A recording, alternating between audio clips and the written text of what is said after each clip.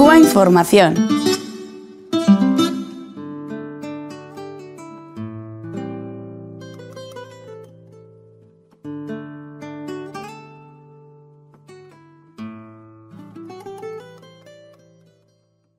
Bueno, primero, queridas amigas y hermanas,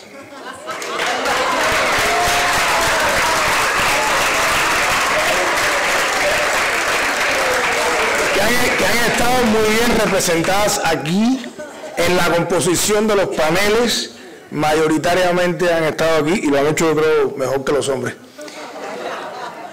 Y yo tengo, el que ríe último dicen que ríe mejor y yo no, yo no sé qué voy a hacer, yo no, yo no tengo esa, esa oportunidad porque me queda muy poco aquí después de, dos días entre el agotamiento de ustedes y lo buenas que han sido las intervenciones. Esta hay unas cosas preparadas que creo que las voy a tener que romper en pedazos. Y entonces le dije, le dije a Manzanera, yo voy a hacer un exorcismo aquí, voy a decir lo que me dé la gana y así. Lo bueno de que te dicen las conclusiones que no te dicen qué tienes que decir ni qué tienes que hacer. A María la le decían, tú tienes que hablar de, lo que habló. Eh, a Ángeles y a, a, Pascual, a Ley, a mí me han dicho conclusiones. Allá Y, y, les aseguro que con total libertad no me han dicho ni de lo que tengo que hablar.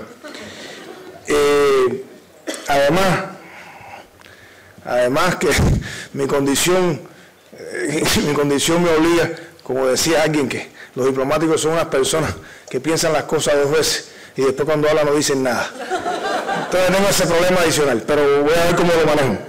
Yo creo que no, eh, les digo con sinceridad que nos hemos reunido aquí no por un ejercicio periódico, de bueno, es el 14 encuentro, vamos para allá, donde el, donde el 15. Yo creo que ha sido una reunión útil y ha sido una reunión para seguir defendiendo a Cuba, un país que saben, tiene un héroe nacional que es un, gran poeta y murió combatiendo con un machete.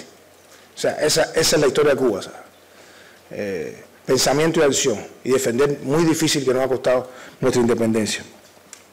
Y nosotros estamos en un mundo en el que hay que defendernos de las construcciones simbólicas y este evento ha ayudado de alguna manera a hacerlo, a, a dotarnos las herramientas para, defendernos de, las construcciones. Yo traje aquí unas cosas que sí las voy a leer, que son lo que yo llamo algunos mitos que andan por ahí, algunos que comentó, que comentaron Pascual y, Pascual y, Ángeles. Por cierto, en esa polémica de si divertido o divertido serio, ¿eh? les confieso que ayer vi a Pascual divirtiéndose y a Ángeles también. Y entonces voy a hacer algo entre serio y divertido, creo que los dos tienen razón. Eh, hay un mito muy extendido en la prensa que es que los países, vamos a llamar los países del ALBA, están gobernados por dictaduras. Es muy, muy simpático. Por ejemplo, el diario El País en febrero de 2016 escribió lo siguiente, o alguien, porque no sé ni quién lo firmó, debe ser un editorial. La dictadura ha acechado a los gobiernos de América Latina como un fantasma. El siglo XX presenta un catálogo de dictadores y mandatos autoritarios con cerca de medio centenar de ejemplares.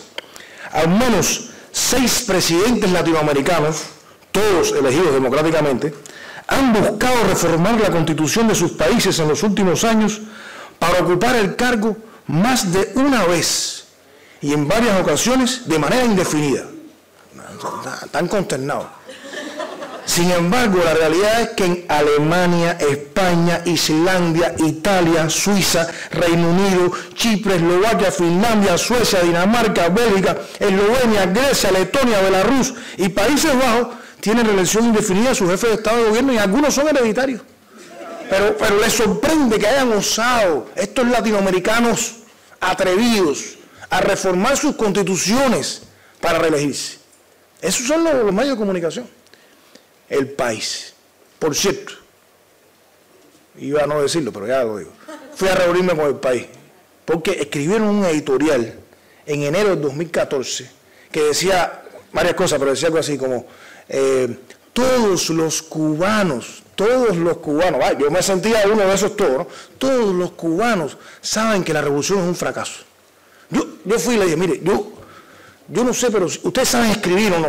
yo fui y me senté con ellos. A ver, ¿cómo usted hace un editorial? Me recibió su directora junto, el director entró, no sabía cómo hablar. ¿Cómo, cómo, hacen? A ver, explíquenme quién hace el editorial aquí, ¿cómo es esto aquí? Bueno, nosotros nos reunimos cada lunes, creo que, y decidimos los editoriales. Y si es muy complejo, si es muy complejo, eh, invitamos a un experto Si hablamos de células madres que no sabemos. Y yo le dije, ¿y de esto quién es el experto de ustedes aquí? Bueno, no sé. ¿Quién lo escribió? No sabían decir. Y si ustedes son unos falta de respeto, Pero además, no, no solo eso, es que además no saben escribir, porque si hubieran dicho la mayoría, la minoría, algunos cubanos, bueno, más o menos eh, te daba una... Pero todos se dan cuenta que escriben sin, sin cuidado, sin cuidado. Callar palabras inútiles es una virtud que no tienen los medios de comunicación. No la tienen. Pero ahí está. Los países del ALBA están gobernados por líderes populistas. Esa es otra que está ahora. Antes éramos revolucionarios, ahora somos populistas. Es una terminología ahí para empatarlo con, en clave interna. ¿no? Dice el, en enero de 2016 este mismo periódico, que hemos declarado el más mentiroso sobre Cuba. Maduro debe poner fin a la charada populista y dejar que quienes han sido elegidos por el pueblo, vaya, como si Maduro lo eligió eh, no sé, los marcianos. Maduro, la, única elección que ha perdido, la legislativa, ganó el 42% del voto. Busquen un país de Europa que se gobierne con 40%. esa es la elección que ha perdido, 42. ¿eh? Y porque dejaron de votar dos millones de venezolanos, pero solo la oposición ganó medio millón de votos más. No se crean que eso se ha acabado así, que ya, ah, entréguense. No, no no se dice que los que fueron elegidos por el pueblo puedan ejercer su derecho obligación de legislar en las materias económicas, políticas y sociales que sea necesario. Pero dice, dice, luego de la intervención del presidente Maduro tomó la palabra el presidente de la Asamblea, en ese momento Henry Ramos Alú. El opositor trató de mantener el mismo tono solemne que había prometido, pero fue imposible. hombre, no podía, era imposible, enardecido por por la euforia de la victoria pírrica de la oposición. Tápense los oídos o sálganse de la sala, eso dice el país, porque yo voy a decir lo que tengo que decir, decía el señor Alum a sus adversarios, los ministros de Maduro, etcétera, etcétera. El nuevo jefe legislativo de Venezuela ha dicho, en seis meses se decidirá la salida constitucional, democrática, pacífica y electoral para la cesación de este gobierno. Así mismo para la, la, la cesación de este gobierno. Una cosa, lo que junto a una ley de amnistía, que incluía criminales y asesinos, que la propusieron después, a favor de presos políticos, son compromisos no transables, remarcó en su primer discurso. Pero fíjense que en enero de 2016, el país también escribió lo siguiente. Dice, los diputados de Podemos se excedieron en las fórmulas de acatamiento a la Constitución. Aún aceptándola, inmediatamente se sintieron obligados a proclamar que trabajarán para cambiarla. Inmediatamente. Primer discurso de Ramos Lula en la Asamblea dice, vamos a acabar con esto, vamos a sacar al gobierno. Entonces, a ellos les preocupa, este mismo periódico, que los diputados Podemos el primer día a día que van a trabajar para cambiar la Constitución. No es para cesar al gobierno, para cambiar la Constitución. Dice, una aspiración políticamente perfectamente canalizable a través del trabajo parlamentario, sin necesidad de convertir el pleno del Congreso en una suerte de teatro donde solo cuenta la imaginación de cada cual para montar números presuntamente espectaculares. O sea, en Venezuela no es un espectáculo lo que hizo él, aquí sí lo es. Aquí hay que comportarse, nosotros tenemos que ser realistas, serios, ponerte la corbata, eh, andar por aquí, no grites, esto es un lugar sacrosanto. Pero allá lo mismo le cortan la cabeza con un cable a un motorista en la calle, que te prenden fuego en medio de la vía pública, y esos son opositores pacíficos. Esto es un descaro, pero nosotros tenemos que denunciarlo. Hay otro mito muy extendido, que es la desnutrición en Cuba. La desnutrición. Hay un periodista que también creo que le dieron una vez un premio mentiroso, Eduardo Inda. ¿Verdad? Según, según Dice, dice, dice, dice, dice, dice Inda, y lo cito así, dice, yo conozco Cuba, dice, yo conozco Cuba. Y en Cuba las niñas y los niños están desnutridos, malnutridos. Los niños en Cuba en general son niños muy delgados, a los cuales se les marcan las costillas. ¿Por qué? Porque no les dan de comer. Eso lo dice Inda aquí normalmente. Sin embargo, es que la realidad es que Cuba es el único país de América Latina y el Caribe que no presenta el grave problema de la desnutrición infantil. Y no lo decimos nosotros, es un reporte del Fondo de Naciones Unidas, UNICEF. O sea, no lo inventamos nosotros. Nosotros hemos logrado consumos austeros. No hay 17 tipos de yogur, ¿eh? No lo hay. pero consumo austero, pero en Cuba no hay malnutrición infantil. Pero Inda le ve las costillas a los niños y dice que sí, que él sabe que en Cuba los niños se mueren de hambre. Así lo dice en la televisión aquí todos los días, porque sale todos los días, todas horas, es una cosa impresionante. O sea, un periodista sabe más que UNICEF, así mismo y, categóricamente. Pero hay otra que es fantástica. Esta también tuve que combatirla casi personalmente. un artículo de ABC de marzo del 2013, El falso mito de la sanidad cubana, por Carmen Muñoz. El mito de la sanidad cubana se desmorona a la misma velocidad que sus desvencijados hospitales, frustrados profesionales, régimen comunista en general, sobre todo desde que le faltan los subsidios a la antigua URSS. La revolución castrista del 59 implantó unos servicios sanitarios en teoría gratuitos, en teoría gratuitos y plagados de carencias. La sanidad en Cuba es pésima para el ciudadano de a pie por la falta de recursos, produce medicinas y material sanitario, pero no para sus ciudadanos. Pero lo que pasó en realidad es que en julio de 2015 la Organización Mundial de la Salud declaró a Cuba como el primer país del mundo en haber erradicado la transmisión del VIH y la sífilis de, de, madre a hijo. Pero, pero, pero bueno, eso, eso es una cosita, vamos a decir. Dice la antigua directora de la Organización Mundial de la Salud, ahora han elegido un etíope que Cuba apoyó, por cierto. Cuba es el único país que he visto, que he visto, que tiene un sistema de salud estrechamente relacionado con la investigación y el desarrollo en ciclo cerrado. Es esta la dirección correcta, porque la salud humana no puede mejorar si no es con la innovación. Y saludó los esfuerzos de la dirección de ese país para colocar la salud como pilar esencial del desarrollo. Dice ella, Cuba basa su sistema de salud en la medicina preventiva y los resultados son excepcionales. Debe seguir, debe seguir el ejemplo, recomienda ella, de la isla en este campo y sustituir el modelo curativo, poco eficiente y costoso, por un sistema basado en la prevención. Deseamos ardientemente que todos los habitantes del planeta puedan tener acceso a servicios médicos de calidad como en Cuba. ¿No? Ese, yo fui a, a, a, ABC también y me reuní con el subdirector de, del periódico. A mí da lo mismo que se lo diga, pero bueno, a veces las reuniones, yo hago muchas veces, son de naturaleza privada y, uno no, debe revelar los contenidos de la reunión y decir que lo hicimos, pero bueno, lo voy a decir. Y yo le digo, mire, Usted tiene aquí en su periódico, por lo menos, según me cuenta, a una periodista que tiene una enfermedad. Y una patología, se lo voy a decir sinceramente, tengo un testigo. Está enferma de algo. ¿Y usted por qué dice eso? No, mire, mire. El día que, que se hizo el funeral de Nelson Mandela, que hablaron cinco presidentes, incluido el cubano. Solo cinco presidentes. Ahí había unos cuantos, vamos a decir, hipócritas. ¿Eh? Bueno, vamos a decir unos cuantos. No, a que no sepan de quién estoy hablando, pero había gente que había condenado a Mandela como terrorista y estaban ahí aplaudiendo. Nosotros no.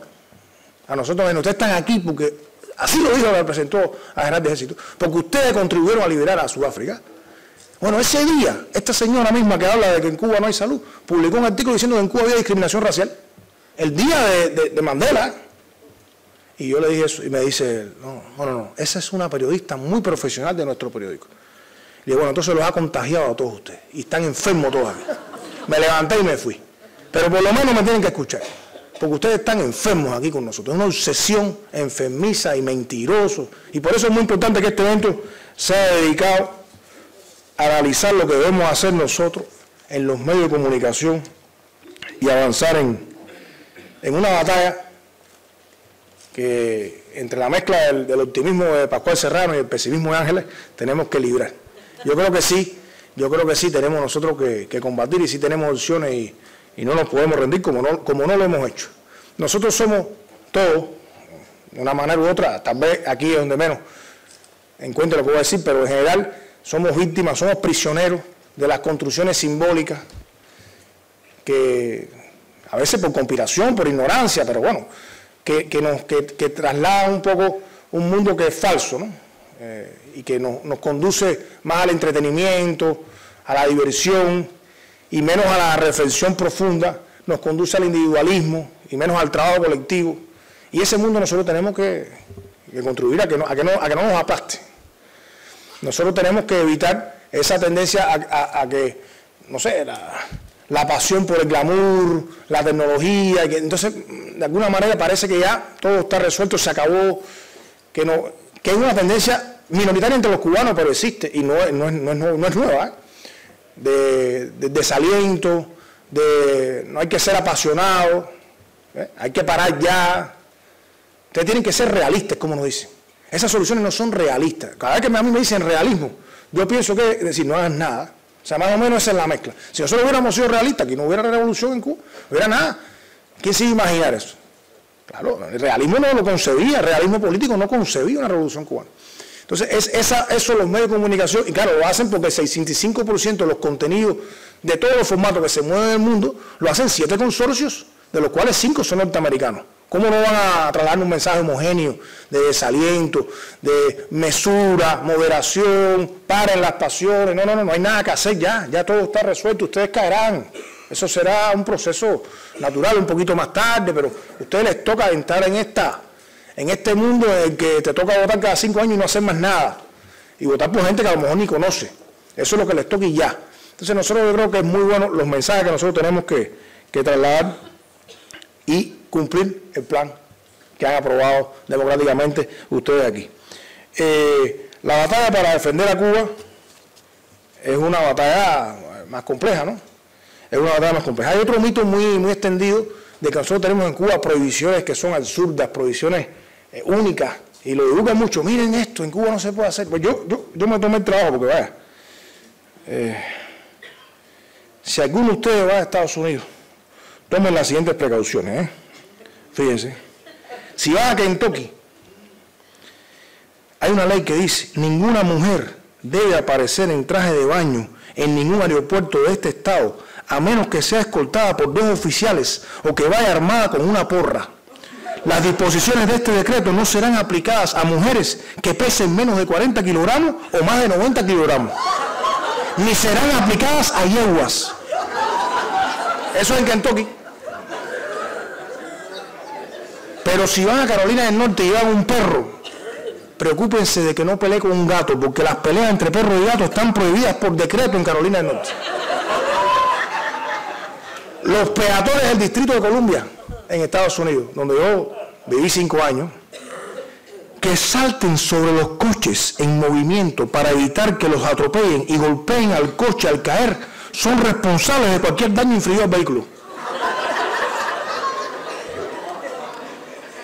La ley en Chicago, en Chicago, prohíbe comer en un lugar que esté ardiendo. Si me cojo fuera la comida, voy preso. En Nueva York, en la ciudad de Carmel, tiene una ordenanza que prohíbe a los hombres llevar chaquetas y pantalones que no vayan a juego. En Atlanta, en Atlanta, va contra la ley atar una jirafa a un poste de teléfono o a una farola. Eh, bueno, esto es laquísimo, ¿eh? pero voy a reducir. Según la ley del estado de Idaho, es ilegal que un hombre le regale a su amada una caja de bombones que pese menos de 25 kilogramos. O sea, así. En Denver es ilegal prestar la aspiradora al vecino. No estoy mintiendo. En, en Devon, con, eh, Connecticut, es ilegal andar hacia atrás tras la puesta del sol. Miren, yo, eh, eh, y, los que han vivido en Estados Unidos saben que esto no es mentira. Esto no es mentira. Hay varios estados que no me sé la cuenta, Mariela posiblemente lo sepa mejor que yo, en donde las relaciones homosexuales son prohibidas. Pero en, tu casa, en tu casa, es un delito tener una relación homosexual en tu vivienda. Ni hablar de los espacios públicos. Yo un día quise asistir a una señora a un accidente de tránsito en Estados Unidos porque chocó delante de mí cuando fuimos, ni la toque. Y ahí se estaba muriendo, no la puedo tocar, porque si el seguro, porque si después te echan la culpa, porque si tú eres el que la vas a matar, y yo decía, pero qué cosa es esto si la mujer la, quiero nada más incorporar que está ahí en el piso, no, no la toque. Y yo veía todo el mundo mirando hasta que llegó la ambulancia. No llegó muy tarde, pero, pero el peligro para su vida aumentó en ese tiempo. O sea, que ya ese mito de que Cuba tiene prohibiciones, los policías en Cuba no saben ni golpear a, a los delincuentes, cabrón. ¿Ustedes han visto un policía cubano? Eh, ¿Para cuál lo estaba diciendo todo lo que se llama un policía aquí? A mí a veces yo me pongo, oye, póngase duro. No tienen armas, no usan armas de fuego. Entonces un día matan a alguien y, aquello es escandaloso. ¿Usted ha leído alguna vez cómo compra petróleo España? ¿Cuándo lo compra? No, eso. Pero el único país del mundo donde hay noticias cómo, cuándo y cómo paga y cómo compra el petróleo es Cuba. Los periódicos se dedican a eso con Cuba nada más. Nadie investiga. Cuba compra petróleo, no tiene petróleo, le va a comprar a Rusia, le va a comprar a Venezuela, eh, no sabe cómo lo va a pagar, eh, disminuyó, aumentó. Oye, es una cosa ahí que. Pero no son ni la, ni sesión económica, sale en primera plana, lo mismo sale en la sesión de cultura, que en la de deporte, y nos persiguen de cómo compramos el petróleo. Un seguimiento al petróleo, al petróleo que Cuba consume, que no tiene ningún país del mundo. Ah, es, una, es una fijación que eso no es casual. ¿eh? Eso son estrategias, estrategias contra nosotros. Nuestra energía nos ha costado muy cara, nos ha costado muy cara.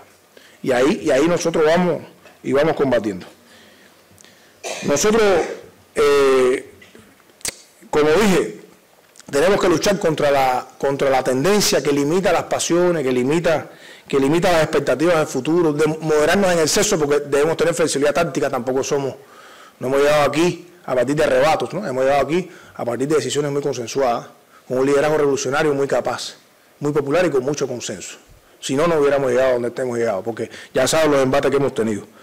Y debemos asumir plenamente que si no concebimos esa, ese actuar revolucionario, desaparecemos como nación. El peligro es real, no es una consigna, ni lo digo aquí aprovechando mi condición de que no me van a hacer preguntas como a los demás ponentes. Lo digo de verdad, lo digo de verdad. Y si en Cuba primar el pragmatismo, el pragmatismo norteamericano, que efectivamente ha calado fuerte.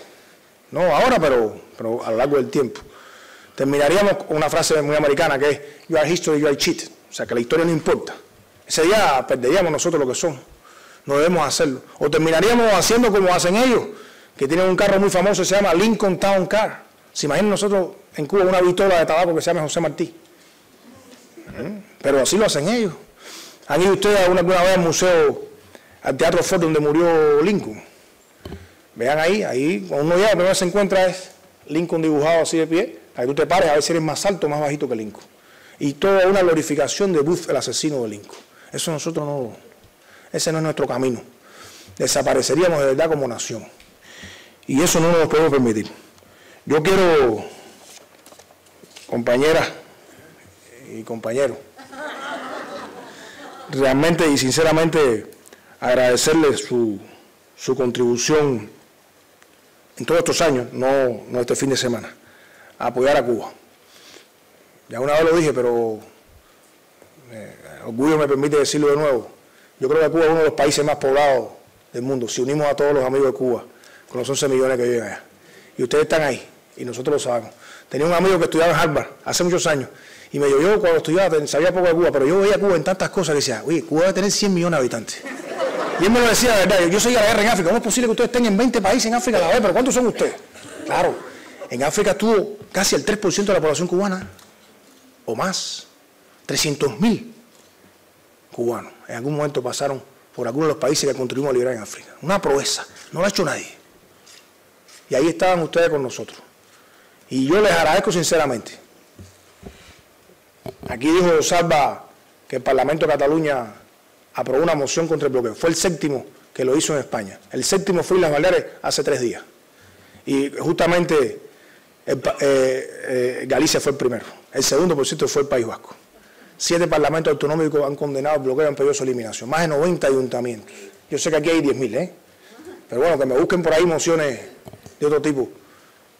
En 90 ayuntamientos en España muy similares. Pidiéndole, instando al gobierno de España a defender el fin del bloqueo, pidiéndole no revertir las políticas recientes de la administración norteamericana hacia Cuba. Y eso, eso se lo debemos a ustedes y lo agradecemos. Nosotros no vamos a traicionar esa amistad y ese cariño. Y no solo por ustedes, por nosotros mismos, porque sería desaparecernos. No lo vamos a hacer. Yo les agradezco los más de 50 homenajes que han hecho al líder histórico de la Revolución Cubana, lamentablemente desaparecido. Espontáneos, bonitos todos, contra presiones, no cubiertos por la prensa, o cubiertos maliciosamente como, como algunos que todos hemos experimentado. Les agradezco las muestras permanentes de confianza, de confianza y comprensión y firmeza en acompañar al liderazgo de general de ejército del Partido Comunista de Cuba en lo que estamos haciendo en Cuba, porque siempre han estado con nosotros, en las malas, por eso hablo de la comprensión, porque nos han comprendido, saben que no, que nos equivocamos, pero no lo hacemos de mala fe y que saben a dónde vamos. Les agradezco ese cariño hacia nuestro pueblo, que es de ustedes también. Y, les reitero, les reitero que las cubanas y los cubanos vamos a defender erguidos y no de rodillas la revolución y vamos a defender a Cuba, porque nuestro sistema, nuestro sistema de salud muy eficiente no ha resuelto un problema que es una patología crónica de ser rebeldes y revolucionarios. Muchas gracias.